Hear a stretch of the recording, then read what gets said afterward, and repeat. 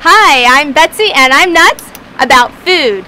Come join me outside today as I grill up some great dishes for your 4th of July. So fire up your grill, get those taste buds rolling, and we'll rock that grill this 4th of July. So what we're creating here is a two ingredient marinade for an inspired Asian chicken skewer dish. So I like to always use a low sodium teriyaki. It's a half a cup of a teriyaki sauce with two tablespoons I like to use a seed butter. You may use a peanut butter if you really want that Asian and styled flavor. So we have Betsy's Best, which has chia seeds and cinnamon, which also adds a unique twist to this marinade. All you do is in a Ziploc bag is you mesh the two together until you have your marinade. So you can marinate anything. It doesn't have to be chicken. We just like to throw them on skewers. So once you have your marinade mix, you're just going to add your chicken. And this is the fun part. You just get to massage it. And then you're going to store it in the refrigerator for anywhere for 20 minutes to up to overnight if you'd like. And then it'll be ready for the grill.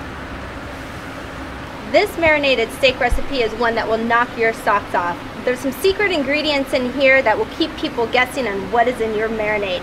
So what we're going to do is utilize two tablespoons of a soy sauce. I prefer low sodium. We're then going to add one tablespoon of the secret ingredient, which is a cashew cardamom butter. This cardamom flavor gives such a unique spice to this dish and this marinade. We are then going to sweeten it up slightly with a little bit of honey. We're going to add two teaspoons of honey. And then we top it off with a little kick as we add a hint of cayenne pepper. We add our steak and we massage and marinate all these ingredients together around the steak. And again, you're gonna let it set in your refrigerator for anywhere from two hours to up to overnight before you throw it on the grill.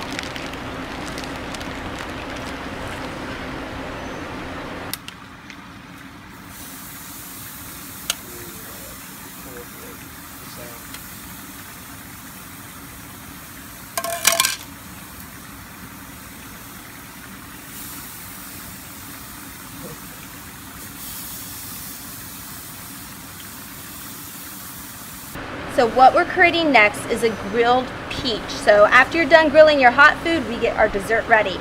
So what you're going to do is cut your peaches in half, just add a little bit of coconut oil to the top of it, and then these are going to go on the grill.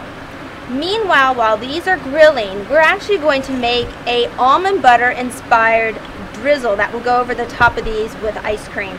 So you're going to take about two tablespoons of a coconut oil and you're going to add two tablespoons of your favorite type of nut or seed butter. I like to use an almond butter for this because it has naturally a nice sweet taste.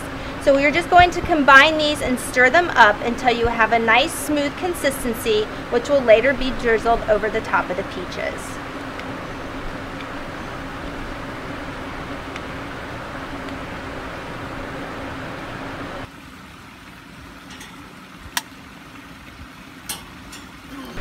This dessert will keep everyone coming back for more and there's no guilt here because it's healthy using grilled peaches, almond butter, and a little bit of coconut oil. And of course to make it gourmet we top it with a little bit of French vanilla ice cream. So you can add your ice cream to the top of each peach and then add the wonderful drizzle, drizzle of the almond butter and coconut oil that we had created earlier and you just drizzle it right over the top. And then I always like to add and top it off with a pinch of cinnamon. Bon appetit!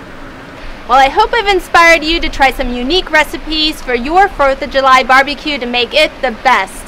Thanks for joining me. I'm nuts about food. We'll see you next week at the Naples Herald.